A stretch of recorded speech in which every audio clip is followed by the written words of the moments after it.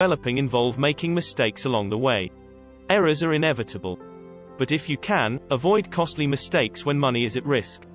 They will also tell you that, at least in hindsight, most errors might have been prevented. Prepare yourself by learning. Keep an eye out. The greatest ways to avoid the 12 financial blunders to watch out for in your 20s are listed below. Never learning to budget is the first point. Many 20-somethings associate budgeting with having enough cash on hand to cover expenses. This include making their rent payments on time, going out on the town, and avoiding overdrafts. They'll come to understand as they become older that money needs to work hard, outside of happy hour.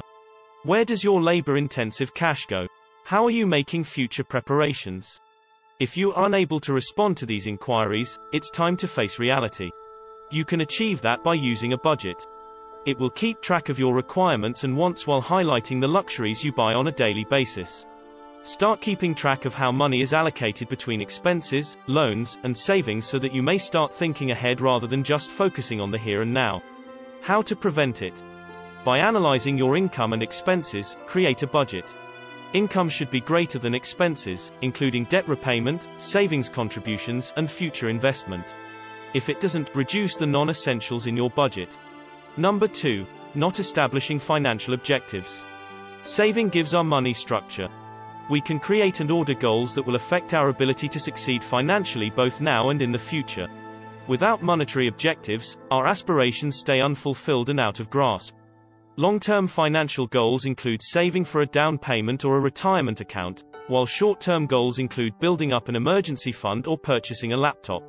Choose whatever aim you choose. The crucial step in making your ambitions a reality is to just get started. How to prevent it? Make a plan for establishing and achieving financial objectives. Sort out your spending so that you can apply any spare money to a project. Keep going after achieving one goal and move on to the next. 3. Relying on your parents. Even a connection between a parent and their adult child might become tense due to money. It's unsafe and irresponsible to fall behind on your rent because you spend your money on social activities.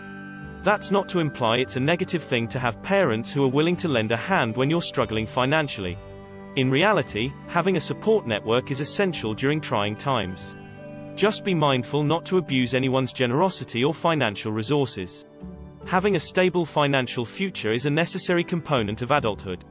Don't assume your parents will help you out of a financial predicament you caused yourself.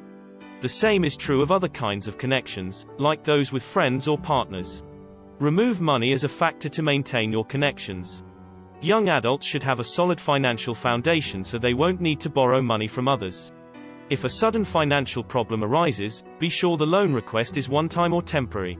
How to prevent it? Eliminate reliance on money. No matter where you reside, start with being independent. Make your own food, clean up your own messes, and do your own laundry. Apply such abilities to your financial routines. Make a budget, handle your own billing, and rely on your funds for unplanned expenses. Ignoring student loan debt is number 4. 20-somethings run the danger of harming their credit by neglecting college loans. Student loan late payments that are reported have a negative effect on credit reports. A negative entry on a credit report lowers credit score, which makes it more challenging to get the best interest rates in the future. Maintaining organization is the simplest approach to prevent this. Understand the total cost of each loan, the monthly payment due, the date it is due, and the appropriate payment method. Do loan payments cost too much? Fortunately, the federal student loan forbearance covers the majority of federal student debts. Before skipping a payment, there are a number of additional options to cooperate with the federal government or a private lender. Take into account a different repayment schedule, consolidation, refinancing, or a deferment.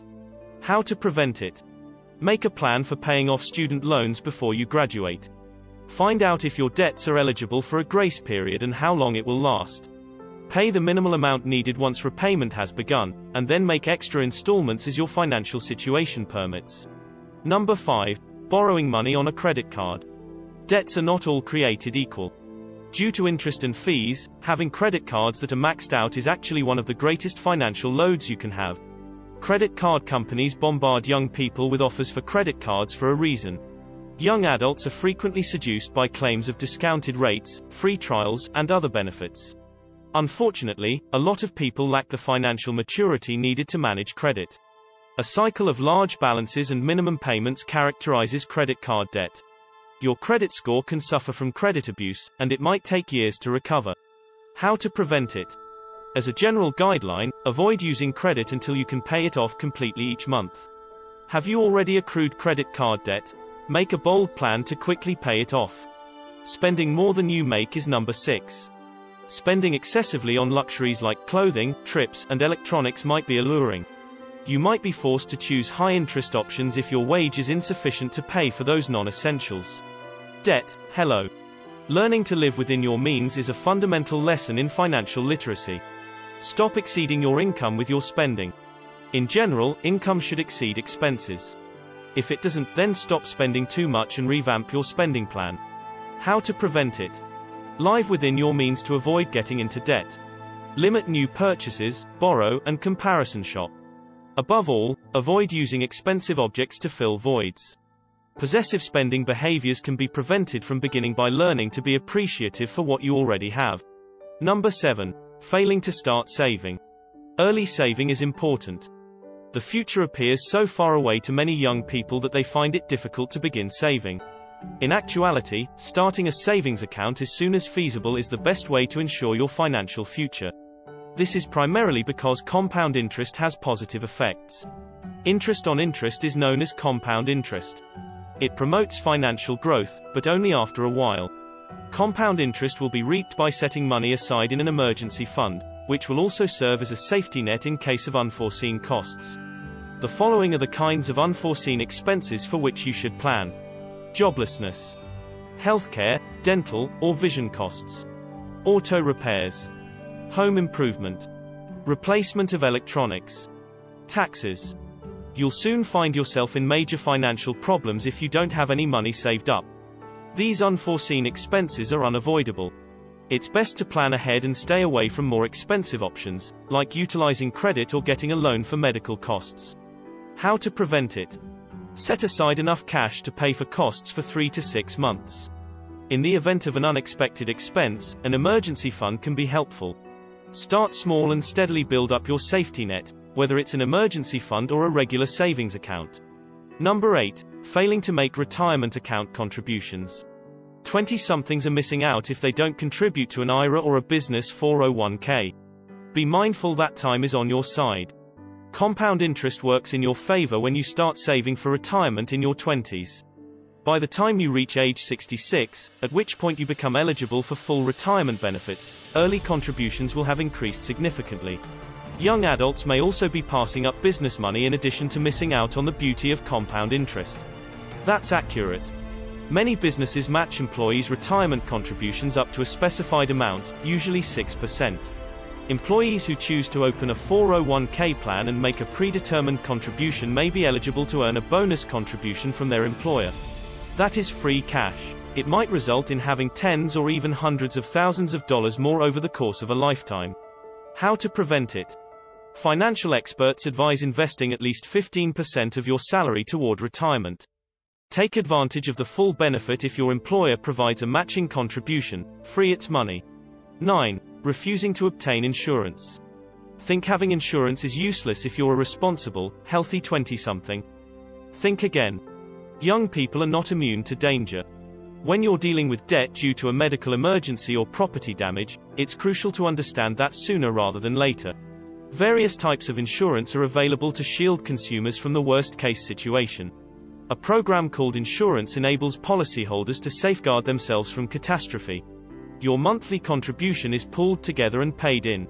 The pool covers a person's expenses in the event of adversity, such as injury, illness, property damage, or death.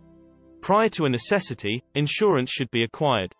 It's always better to be safe than sorry. If you don't have insurance, you might have to spend all of your funds or turn to high interest credit to pay your bills. How to prevent it? Decide on your insurance coverage. Pay a modest monthly fee rather than a huge expense in case of an emergency. Get all your bases covered, including life, disability, health, dental, and vision insurance as well as renters or homeowners insurance. Number 10. Residing in an expensive city. Young adults appreciate living in large cities. Why would they not? Cities are constantly alive with cultural activities, a thriving nightlife, and a high concentration of other young people. But there is a price for all of that activity. Cities are costly. Just consider Los Angeles or New York City. One paycheck can be required to rent a small, expensive apartment. A smaller city, a suburb, or even a rural location shouldn't be completely disregarded by young people. The cost of living in a big city is high. Imagine using that money somewhere else. Repaying student loan debt. Creating an emergency savings account. Constructing investments. When your home isn't your biggest expense, there are countless opportunities. How to prevent it. Compare the cost of living in several locations before deciding where to pursue your postgraduate studies. Don't discount less expensive small towns and big cities. In fact, after you're past your 20s, you could start to appreciate the less expensive lifestyle in a small town. Subscribe for more content like this.